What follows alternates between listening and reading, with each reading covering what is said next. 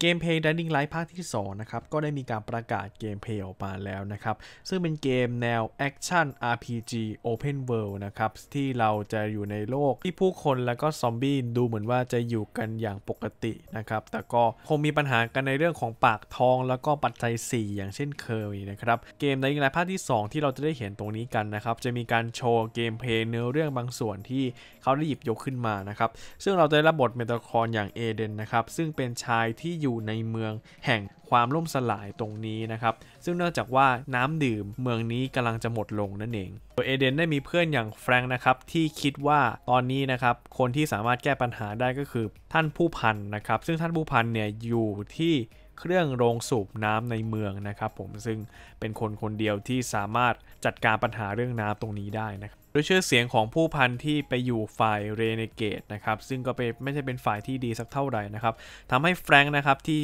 มีความชำนาญด้านของการเจรจานะครับได้ไม่มีการพูดคุยกับสมาชิกของอีกฝ่าย เหตุการณ์นี้ก็จะมีเอเดนนั้นเข้าไปร่วมอยู่ในเหตุการณ์นี้ด้วยนะครับ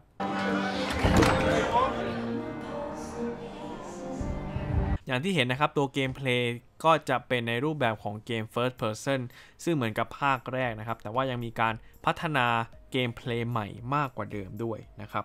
โดยอย่างที่เห็นนะครับว่าตัวเกมนั้นมีการอธิบายเพิ่มเติมว่าจะมีเมืองอยู่ประมาณ 7 เขตด้วยกันนะครับ ซึ่งแต่ละเขตเนี่ยก็จะมีสภาพภูมิอากาศที่แตกต่างกันออกไปนะครับทำให้เราเนี่ย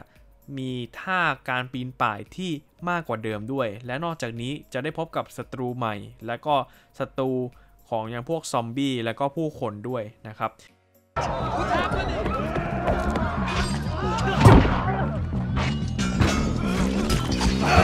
ในฉากการต่อสู้นะครับ อย่างที่เห็นเราจะสามารถหยิบอาวุธขึ้นมาต่อสู้กับพวกศัตรูได้นะครับ โดยเราจะมีการใช้อาวุธที่ปรับแต่งได้ในเกมเหมือนกับภาคที่แล้วนะครับ แต่ว่าแต่ในภาคนี้ก็จะปรับให้มันดูน่าสนใจมากกว่าเดิมด้วย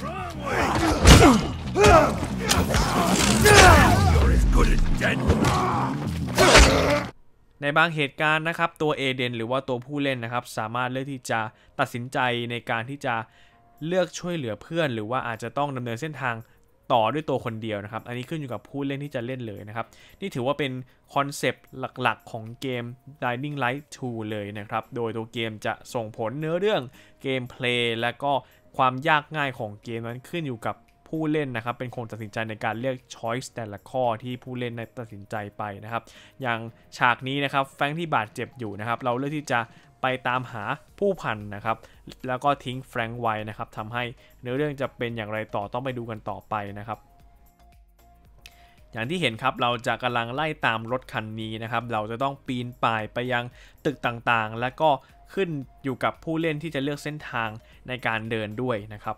โดยเกมเพลย์ของ Dying Light 2 นะครับ จะเป็นการที่ผู้เล่นนั้นปีนป่ายไปยังจุดต่างๆ โดยใช้อาวุธ หรือว่าสิ่งของต่างๆ อย่างเช่นตะขอในการช่วยเหลือผู้เล่นได้ด้วยนะครับ โดยนอกจากนี้นะครับยังมีการใช้ระบบลูกเล่นอย่างร่มชูชีพ เพื่อที่จะชะลอการตกลงมานะครับ และก็สามารถเลือกเส้นทางในการปีนป่ายไปยังที่อื่นได้ด้วย และก็เพิ่มความเร้าใจเข้าไปอีกด้วยนะครับ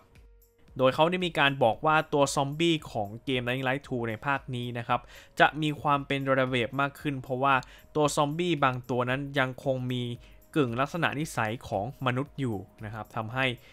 ลักษณะนิสัยของมนุษย์เราก็ยังคงเป็นระเบียบในบางช่วงบางตอนในช่วงกลางวันนะครับ ก็จะเป็นซอมบี้ที่อึดอัดยืดยาดในบางตัวด้วยนะครับ ในบางครั้งเราสามารถใช้ซอมบี้ในการกำบัง แล้วก็ผลักมันตกมาพร้อมกับเราได้เพื่อจะลดอาการบาดเจ็บได้ด้วยนะครับ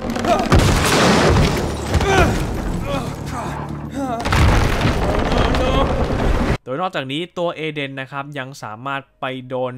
ฉากอย่าง dark zone ได้ด้วยครับ dark zone คือฉากที่เงียบและก็เป็นโซนมืดนะครับ ที่พวกซอมบี้จะอยู่ด้านในนั่นเองนะครับ โดยศัตรูจะบุกเข้ามาโจมตีเราแบบเลือดเย็นเลยเอเดนนั้นจะมีอุปกรณ์อย่างไฟฉาย UV นะครับ ซึ่งจะเป็นไฟสีม่วงๆที่เราเห็นกันอยู่ จะสามารถชะลอการโจมตีของศัตรูได้ชั่วคราวนะครับแล้วก็ทำให้ศัตรูมึนงงได้ประมาณ 1-2 วินาทีนะครับ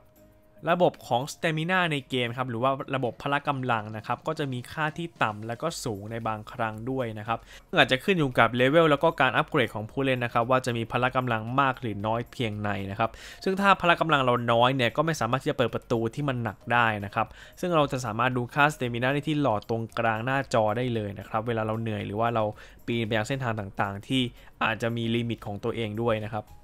สามารถดูระดับ ความติดเชื้อของเราได้ที่หลอดที่ข้อมูลทางด้านซ้ายมือนะครับโดยถ้าเป็นสีเขียวคือเรายังปลอดภัยอยู่นะครับ แต่ว่าถ้าเริ่มมีสีแดงเพิ่มขึ้นมาเรื่อยๆเนี่ยจะเป็นจุดเสี่ยงและก็อันตรายแล้วนะครับ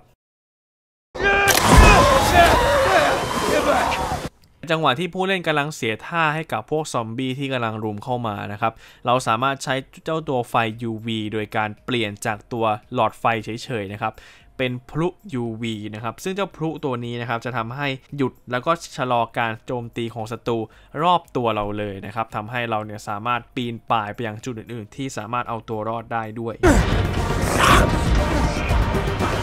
ตอนนี้เอเดนดูเหมือนว่าจะสามารถขึ้นรถมาได้และเลือกที่จะ ให้คนขับนะครับ พาเขาไปหาผู้พันนะครับผม ซึ่งในฐานผู้พันนั้นเอเดนจะบุกเข้าไปและพูดคุยกับผู้พันในฐานนะครับ โดยช้อยส์ที่เราเลือกนะครับก็คือเลือกที่จะไม่ฆ่าคนขับนะครับ แล้วก็สามารถบุกเข้าไปในฐานโดยวิธีที่ง่ายนะครับ แต่ว่าก็ยังคงต้องรอลุ้นอยู่ว่าอาจจะมีเหตุการณ์แย่ๆเกิดขึ้นต่อมาก็ได้นะครับ โดยนอกจากนี้นะครับเราจะได้เห็นคัดซีนบางซีนที่มีการพูดคุยด้วยว่าแฟรงค์นั้นได้เสียชีวิตแล้วนะครับ ซึ่งถ้าเราเลือกอยู่กับแฟรงค์นั้นเหตุการณ์ก็จะเปลี่ยนไปอีกแบบหนึ่งนะครับแต่ว่าถ้าเราเลือกที่จะบุกเข้ามาในฐานของผู้พันเนี่ยก็จะเป็นดำเนินเส้นทางตามที่เราเล่นเลยนะครับ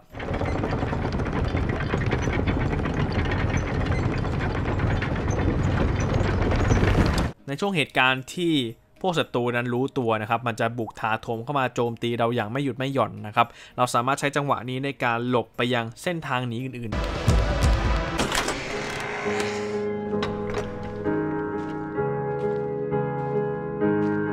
Where is he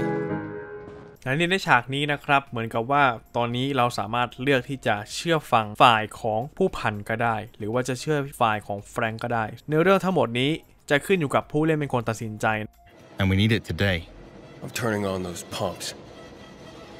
what a pity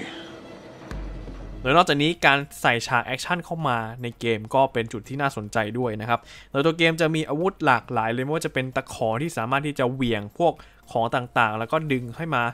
เป็นการช่วยเหลือผู้เล่นได้ด้วยนะครับ โดยนอกจากนี้ยังมีการ อาวุธที่สามารถโจมตีและยิงไปในเวลาเดียวกันด้วยคือปืนอย่างกอปิโอนะครับ ซึ่งจะเป็นปืนลูกดอกนะครับ สามารถโจมตีศัตรูแล้วก็นัดเดียวตาย โดยสามารถเปลี่ยนเป็นอาวุธหลักได้ด้วยนะครับ Hitting ranged weapon that basically one shot your enemies you you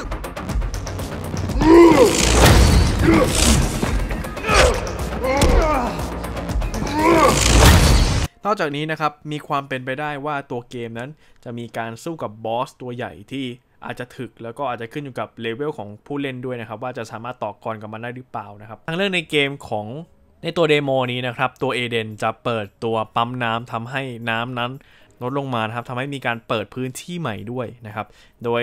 ตัวเกมนะครับก็ยังคงเหมือนเดิมครับคอนเซปต์เดิมว่า ตัวเกมจะส่งผลกับผู้เล่นด้วย ถ้าเราไปอยู่ฝ่ายอีกฝ่ายหนึ่งแล้วเนี่ยจะทำให้อีกฝ่ายหนึ่งไม่พอใจได้นะครับ ก็จะเป็นการเลือกฉากจบของเนื้อเรื่องที่ขึ้นอยู่กับผู้เล่นด้วยนะครับสิ่งที่น่าสนใจมากกว่านั้นคือเกม Dying Light ภาคที่1นะครับได้มีการใส่ระบบภาษาไทยทั้งเวอร์ชั่นของ gameplay เลย ซึ่งผมคาดเดาว่าตัวเกม ภาคที่ 2 นี้ก็ยังจะคงคงอาจจะเป็นแบบภาคที่1นะครับซึ่งผมคิดว่าน่าจะมีความเป็นไปได้สูงด้วยเพราะว่าตัวเกม Dining Light ภาคที่ 1 นั้นก็มีใส่เวอร์ชันภาษาไทยเกือบทั้งหมดแล้วด้วยนะครับ โดยโดยส่วนภาคที่ 2 นั้น อาจจะมาพร้อมกับตัวเกม หรือว่าจะมีการอัปเดตทีหลังต้องขึ้นอยู่กับทางทีมพัฒนาได้เป็นการตัดสินใจทีหนึ่งนะครับ แต่ที่แน่นอนครับ ตัวเกม Dining Light ภาคที่2ครับจะวางจำหน่ายในปี 2020 นะครับผมบนเครื่อง PlayStation 4 Xbox One แล้วก็ PC นั่นเองนะครับ เพื่อนสามารถ pre-order ตอนนี้ได้เลยนะครับผม โอเค มาตรงนี้ก่อนแล้วกันนะครับ ผมยังก็ฝากติดตามทาง YouTube Channel ของเรามาดู subscribe กดกระดิ่งไว้ครับ วันนี้ขอตัวลาไปก่อนสวัสดีครับ